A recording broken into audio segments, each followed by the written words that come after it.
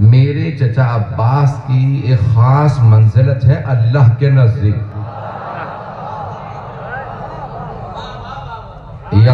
भी जमी शहदा। रोज क़यामत तमाम शहदा। मेरे चचा की मंजिलत और मकाम को देख के गिबता खाए। कुछ लोग पहुँच गए। बुज़ुर्ग पहुँच होंगे नौजवानों के लिए वजाहत कर दूँ। दो लफ्ज हैं अरबी के। एक है गिबता और एक है हसद। इंसान जब देखता है ना, इसके पास बहुत बड़ी मंजिलत है, इसका मकाम बहुत बुलंद है तो या उसे हसद होता है,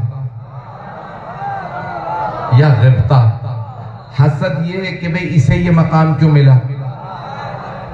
और गिबता ये कि मुझे भी ऐसा मकाम मिल जाता। चौथे माम फरमाते हैं, हर शहीद, हर आदमी, हर मोमिन नहीं। तवज्जो, शहीद।